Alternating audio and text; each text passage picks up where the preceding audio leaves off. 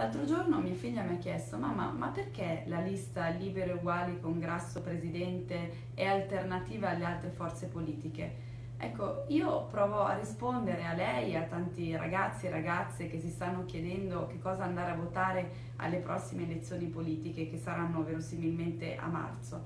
Allora, noi siamo l'unica forza politica nuova in campo, perché da una parte abbiamo la coalizione di centrodestra guidata da Berlusconi che ha governato per oltre vent'anni in questo paese con i risultati che sono sotto gli occhi di tutti e stiamo parlando comunque di una persona che ha più di 80 anni e dentro la coalizione c'è un Salvini che ha come unico obiettivo quello di scatenare guerre tra poveri in Italia che non servono a nessuno e a uscire da un'Europa che forse è l'unico contenitore nel quale possiamo verosimilmente stare, cambiarlo ma stare dentro l'Europa. Dall'altra parte abbiamo un partito democratico a guida renziana che abbiamo visto che cosa ha fatto in questi anni e poi un movimento 5 Stelle guidato da Di Maio e Grillo che